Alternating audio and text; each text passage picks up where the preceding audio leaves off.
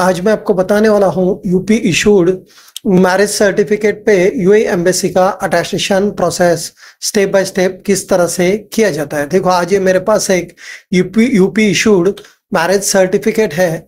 इसके back side पे किस तरह से यूए के लिए स्टेप बाय स्टेप अटेस्टेशन हुआ है, आज मैं आपको इस वीडियो में बताने वाला हूँ। और कभी भी अटेस्टेशन करने के लिए इस तरह का ओरिजिनल यूपी का मैरिज सर्टिफिकेट चाहिए होता है। विथ मैरिज रजिस्टर का इस तरह का स्टैंप और सिग्नेचर चाहिए होता है। आजकल काफ़ी स्टेट से क्यूआर कोड वाला मैरिज सर्टिफिकेट इशू हो रहा है तो उस पर इस तरह का सिग्नेचर और स्टैंप नहीं होगा तो भी चलता है। अगर वो क्यूआर कोड वाला लेटेस्ट मैरिज सर्टिफिकेट नहीं होगा तो इस तरह का ओरिज मैरिज सर्टिफिकेट विथ स्टैंप और सिग्नेचर देना पड़ता है। और काफ़ी काफ़ी लोग ये सर्टिफिकेट को सेफ़ रखने के लिए इसको लैमिनेशन करके रखते हैं। अगर आपने इस सर्टिफिकेट को लैमिनेशन करके रखा है तो उससे डरने की कोई बात नहीं है। उसके बैक साइड का हम लोग जितना अटेस्टेशन के लिए लैमिनेशन रिमूव करने की ज़रूरत होती है, उतना लैमिनेशन रिमूव करके एम्बेसी का अटेस्टेशन प्रोसेस करते हैं। और अटेस्टेशन कभी भी ओरिजिनल सर्टिफिकेट के बैक साइड पे होता है। जेरोक्स कॉपी कलर कॉपी या स्कैन कॉपी पे नहीं होता है। काफ़ी लोग बोलते हैं कि उनके फ्रेंड ने, दोस्त ने इसने स्कैन कॉपी पे या कलर कॉपी पे किया है।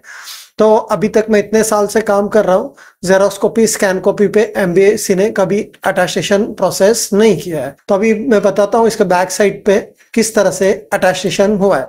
देखो ये सर्टिफिकेट का बैक साइड है। और नॉन एजुकेशनल डॉक्यूमेंट जैसे कि मैरिज बर्थ डेथ सर्टिफिकेट ये एजुकेशनल सर्टिफिकेट नहीं है नॉन एजुकेशनल सर्टिफिकेट है। वो महाराष्ट्र, मुंबई से अटेस्टेशन होता है। इसलिए इस पे देखो महाराष्ट्र के काफ़ी अटेस्टेशन के स्टैम्प दिखेंगे।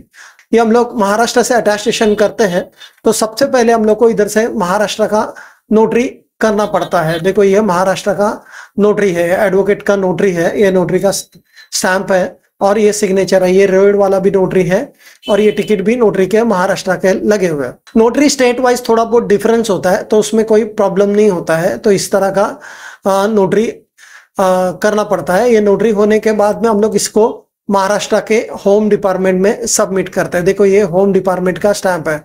इसको काफ़ी लोग महाराष्ट्र का होम डिपार्टमेंट बोलते हैं, काफ़ी लोग इसको जीएडी बोलते हैं, इसको काफ़ी लोग मंत्रालय भी बोलते हैं। ये महाराष्ट्र के मंत्रालय से स्टैंप होता है। देखो, यहाँ लिखा है, home department, government of Maharashtra.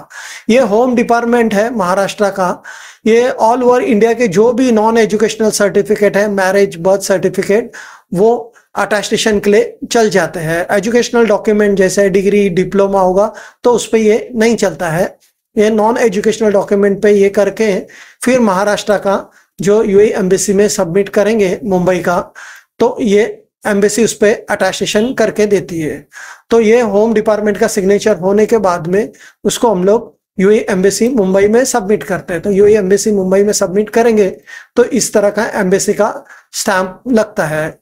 इसको काफ़ी लोग इंडिया का मोफा भी बोलते हैं। देखो उसमें शॉर्ट फॉर्म में इधर, देखो, इधर लिखा है मिनिस्ट्री ऑफ़ फॉरेन अफेयर्स इसका शॉर्ट फॉर्म होता है मोफा। देखो, यहाँ मोफा भी लिखा हुआ है। देखो, यहाँ मोफा। तो काफ़ी लोग इसको इंडिया का मोफा भी बोलते हैं। तो ये आपका अटेस्टेशन प्रोसेस हो गया। तो आपका यूई एम्बेसी का अटेस्टेशन हो जाता है।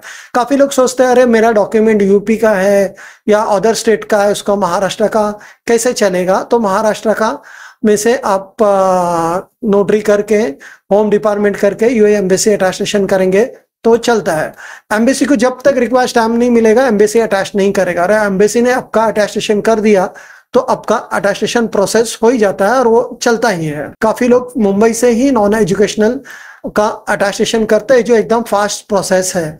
और काफ़ी लोग पूछते हैं कि मैरिज सर्टिफिकेट या बच्चे लोग का बर्थ सर्टिफिकेट यू एम्बेसी के लिए क्यों अटेस्टेशन करना पड़ता है? क्योंकि अगर आपको वाइफ का, वहाँ का स्पाउस का वाइफ का, वहाँ का परमानेंट वीज़ा निकालना हो तो उसका मैरिज सर्टिफिकेट अटेस्टेशन करके लेके ही जाना पड़ता है। अगर आपको बच्चे का वहाँ का रेसिडेंट वीज़ा निकालना है तो बच्चे का आपको बर्थ सर्टिफिकेट इस तरह से बैक साइड से अटेस्टेशन करके लेके जाना पड़ता है। हम लोग मैरिज बर्थ यूपी के डिग्री सर्टिफिकेट जो भी स्टेट है सब कोई भी स्टेट का हम लोग यू एम्बेसी का अटेस्टेशन प्रोसेस करके देते हैं। Degree diploma leaving certificate marriage certificate birth certificate कुछ भी हो, कतार, ओमान बैरिन यूएई, कुवैत, कहीं के लिए भी सबके लिए हम लोग करके देते हैं। अगर वो अटेस्टेशन करना हो तो मेरा स्क्रीन पे नंबर दिया है, उस पर कॉल या व्हाट्सअप कर सकते हैं। अगर मेरा ये वीडियो पसंद आया तो प्लीज़ लाइक और सब्सक्राइब कीजिए। Thank you